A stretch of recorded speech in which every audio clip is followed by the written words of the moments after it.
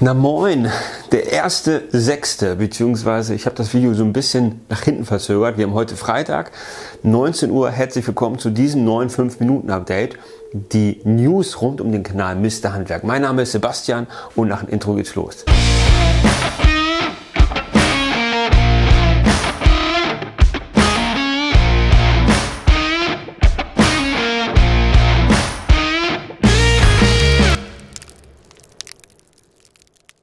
Ja, mein Name ist Sebastian. Für diejenigen, die das noch nicht wussten, es ist ungefähr bis zu, ach, ich weiß es gar nicht, 185.000 Abonnenten äh, wussten es vielleicht 5% von euch oder auch zwei oder drei.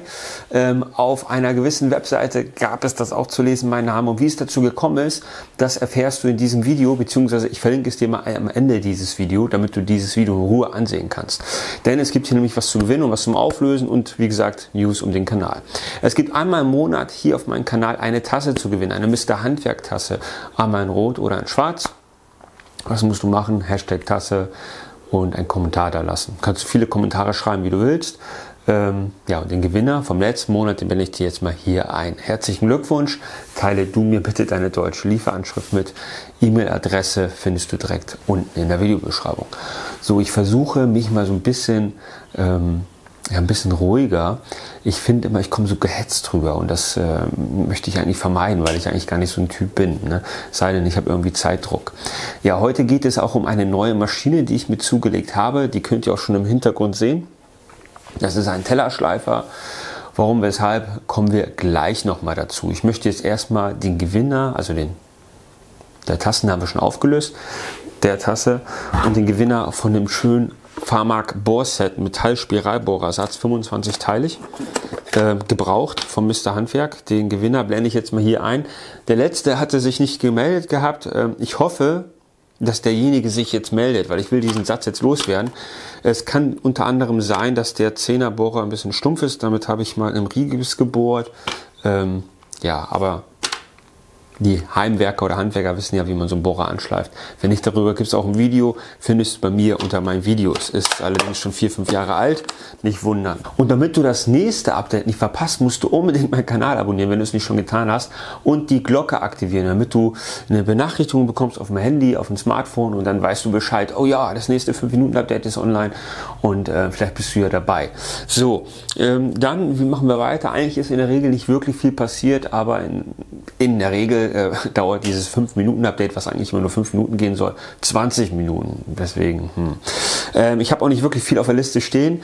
Ähm, ja, kommen wir zur Mähroboter-Garage. Ich habe eine Mähroboter, beziehungsweise zwei jetzt schon gebaut und die letzte war hm, eine für den Landroid Works 500 oder M500 und viele von euch wissen, dass der irgendwie so seitlich reinfährt auf so eine Ladestation ähm, wir haben das so platziert in dem Häuschen, dass der doch irgendwie gerade rausfährt. Und das hatte ich im Video, verlinke ich dir mal hier oben im Eck, hatte ich nicht gezeigt gehabt. Und jetzt zeige ich dir mal zwei Szenen, wo er einmal reinfährt und wie er wieder rausfährt. Übrigens, ähm, wir sind auch auf Instagram vertreten, also Steffi und meine Wenigkeit. Ähm, wenn du uns dort folgst, vielleicht hast du es ja schon gesehen, das Video.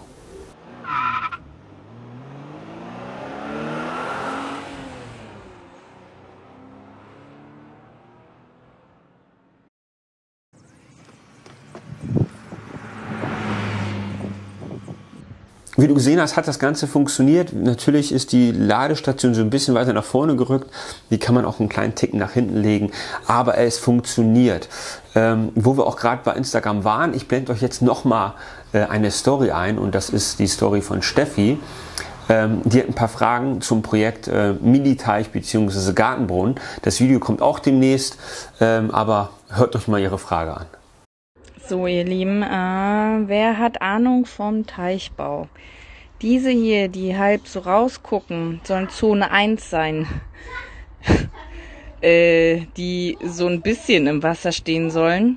Ähm, ich frage mich, wie das hier werden soll, weil das guckt ja dann da ganz weit drüber.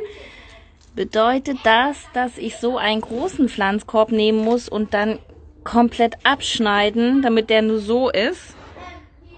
Dann mit Bruchstein hochstapeln. Das ist nur ganz, aber die Wurzel ist ja auch ein Stück tief. Ja, wer hat da Ahnung? und kann mir mal helfen. Zone 4 ist ganz tief im Wasser, hier so eine Seerose. Zone 3 halb und dann ist das hier dieses hohe alles Zone 1, was quasi über dem Wasser sein soll, beziehungsweise nur so ein ganz kleines Stück. Also, wer kann mir da mal helfen? Oder habe ich es sogar richtig gemacht, weil Zone 1 und Zone 2, die Wurzel darf also im Wasser stehen, nur die Pflanze muss oberhalb des Wassers sein. Und das ist sie ja. Jetzt muss ich das nur noch ein bisschen hübsch machen und anrichten. Aber die Pflanze ist über dem Wasser. Dann müsste ich das ja eigentlich richtig gemacht haben, richtig? Vielleicht ist ein Teichbauer von euch mit dabei, beziehungsweise ein Gartenlandschaftsbauer. Meine Meinung ist, ähm, habe ich auch schon gesagt, dass die so einen kleinen Ticken rausstehen dürfen, also die Kiesschicht. Und natürlich steht das Wurzelwerk und die Erde im Wasser. Das ist am Teich genauso. Wenn ihr da buddelt, dann kommt auch an der Seite irgendwie Wasser hoch vom Rand. Und äh, die anderen Wasserpflanzen bzw. Zonen ist ja logisch. Ne? Eine Seerose hat ungefähr Meter bis 80 Zentimeter Tiefe, je nachdem. Das sind jetzt Zwergseerosen gewesen, meiner Meinung nach. Hm, da spielt es, glaube ich, keine Rolle. Dieses Weinfass hat eine Tiefe von 30 äh, Zentimeter. Naja, ähm, wir sind auf eure Meinung gespannt und vielleicht könnt ihr oder Steffi ja weiterhelfen. So, als nächstes, ähm, was habe ich auf meiner Liste? Genau. Ich hatte im letzten Update, verlinke ich mal hier oben, gefragt gehabt, ähm, Thema Elektrik. Ähm, schaut euch das Ganze an. Es ist so, ich habe jetzt einen Elektriker kommen lassen und der hat das Ganze dann gemacht. Zack, zack, zack, zack, Leitung verlegt. Und ähm, er hat zu mir gesagt, äh, er will mir das nicht verraten. Muss ich so hinnehmen. Auf jeden Fall äh, funktioniert das Ganze jetzt. Ähm, ja, und äh, recht herzlichen Dank für eure Kommentare. Viele haben auch gesagt, die vermuten das und das und das. Aber Sie müssen sich das Ganze vor Ort anschauen. Ähm, ja, auf jeden Fall wollte ich euch da Feedback zu geben, dass sich das Ganze geklärt hat. Der war da recht flink. Ich, ich weiß nicht, wo der Fehler war und äh, es zeigt mir persönlich, ähm, dass ich das richtig gemacht habe. Finger weg, nicht rumexperimentieren. Also so eine Steckdose und so, ja, kann ich verlegen. Älterem Haus, hm, naja, ne, habe ich jetzt daraus gelernt. Aber ich habe es richtig gemacht, nicht weiter rumfummeln, weil wir müssen natürlich bedenken, es kann mal ein Kurzschluss entstehen, ruckzuck brennt das Haus oder das Carport ab und dann ja, ist das Geschrei groß. Ne? Deswegen ähm, kann ich euch auch nur empfehlen, Elektriker zu holen. War auch nicht so teuer. Und jetzt kommen wir zum Tellerschleifer. Ich habe nämlich hier so einiges an Multiplexplatten und Acrylglasplatten Zentimeter dick, richtig, richtig dicke Dinger, die ich jetzt alle schleifen muss, beziehungsweise bearbeiten. Das wird ein Projekt. Und ähm, natürlich, es gibt hier für verschiedene Aufsätze. Ne? Für das Acrylglas habe ich hier andere Aufsätze und so weiter und so fort. Tellerschleifer findest du unter der Videobeschreibung verlinkt. Ähm, so, und jetzt kommen wir mal dazu. Ich habe mir, es gibt ganz viele Anleitungen auch für mich ja, wie ihr solch so einen Tellerschleifer bauen könnt.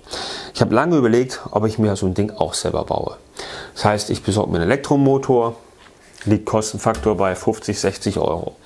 Besorge mir das Material, gut, komme ich ja umsonst ran. Übrigens, Plattenzuschnitt 24 ist mein Plattenpartner, ähm, vertreibt ganz, ganz viele Plattenmaterialien, Multiplexplatte, ähm, Siebdruckplatte, Acrylglasplatten in unterschiedlichen Dicken, Acrylglasrohre, Zylinder. Ähm, das Sortiment ist wirklich sehr, sehr umfangreich. Ihr könnt euch das alles exakt auf Maß bestellen. Ihr könnt euch Radien hineinfräsen lassen, äh, Schrägen und so weiter und so fort. Link dazu und einen Rabattcode findest du auch direkt unter der Videobeschreibung. Und das Schöne, wenn ihr dort was bestellt, könnt ihr dann eure fertigen Projekte dorthin schicken bzw. euch bewerben zum ähm, Kundenprojekt des Monats. Meines Wissens, ich weiß jetzt nicht so genau, gibt es dann, werden dann drei auserwählt und dann gibt es so kleine Preise. Ist eine ganz, ganz tolle Sache. Schaut euch das mal an. Links dazu findest du alles unten in der Videobeschreibung. Und ähm, ja, jetzt bin ich vom Thema abgekommen. So, jetzt haben wir es. Aber ähm, das ganze Projekt würde mich bestimmt mindestens drei oder vier Tage an Zeit kosten. Und ähm, ja, deswegen habe ich mir gesagt, wenn ich das jetzt umrechne, lohnt sich das Ganze gar nicht. Und deswegen dieser Tellerschleifer liegt jetzt, glaube ich, aktuell bei 200 Euro. Ich habe ihn, glaube ich, für 180 Euro geschossen. Die Preise variieren immer. Und ähm, ich bin eigentlich recht zufrieden damit. 200 Euro kann man, glaube ich, nichts falsch machen. Weil, wie gesagt, wenn man das rechnet, ne, Motor, Material, Schleifaufsätze und so weiter und so fort, sind wir locker beim, beim Huni. Und äh, ja, lege ich 100 Euro drauf, habe ich dann schon die Maschine. Ähm, das macht für mich keinen Sinn und deswegen habe ich mir den Tellerschleifer jetzt gegönnt. Ich weiß nicht, welchen Tellerschleifer hast du zu Hause? Hast du auch einen gekauften oder einen selbstgebauten? Würde mich mal interessieren. Lass es mal in die Kommentare da. Es gibt Tellerschleifer, die kosten, glaube ich, 800, zwischen 700 und 800 Euro. Das ist wirklich, sind die, die, ähm, die Profiliga, kann man sagen.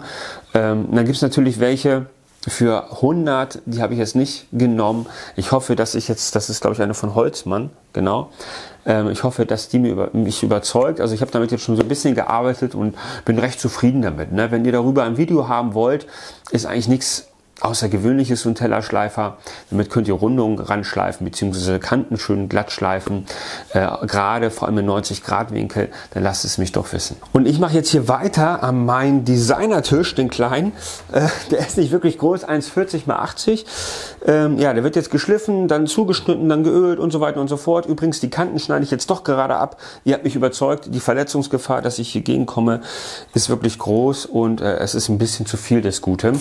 Übrigens bekommt bekommt ihr, upsala, pro gewonnene Mr. Handwerk-Tasse immer eine Autogrammkarte von mir, original signiert, und ein Sticker, original signiert. Als ob ich irgendwie so ein Promi wäre. Naja, mache ich. Die Anfragen waren halt sehr groß und deswegen gibt es leider diese, früher habe ich die immer verschenkt, gibt es leider nicht mehr, weil es ist einfach zu viel, das schaffe ich nicht.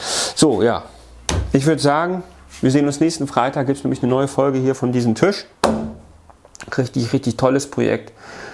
Ist ein Projekt, wo man nicht viel nachdenken muss und ähm, wo man viel, viel dran arbeiten muss, schleifen und so weiter und so fort.